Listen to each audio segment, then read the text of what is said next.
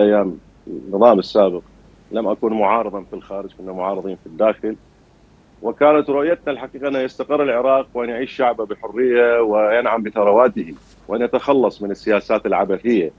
ما حصل بعد عام 2003 بعد الاحتلال والغزو وتسليم العراق من المحتل الأمريكي إلى المحتل الإيراني كان أكبر ضربة قاضية. وللأسف الأحزاب اللي تسترت بالإسلام وبالمذهب أساءت بشكل كبير لهذه الجهتين.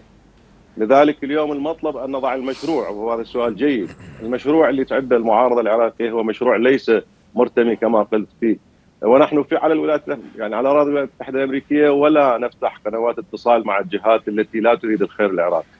لكن المعروف انه المجتمع الدولي يعترف بهذا النظام القائم في العراق. وهو وصف في آخر جلسة مجلس الأمن بأنه نظام ميليشياوي. وهذا ما سعينا له منذ تقريبا سنتين.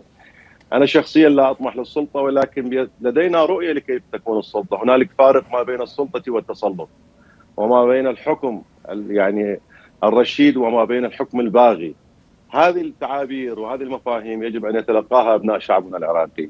وبالتالي أنا الحقيقة مع أن يكون هنالك شباب عراقيين آه، يخرجوا من الساحات ساحات النضال ليؤسسوا الحقيقة إلى البديل الوطني وهذا البديل الوطني هو سوف يختار من يدير الشأن ولا يحكم.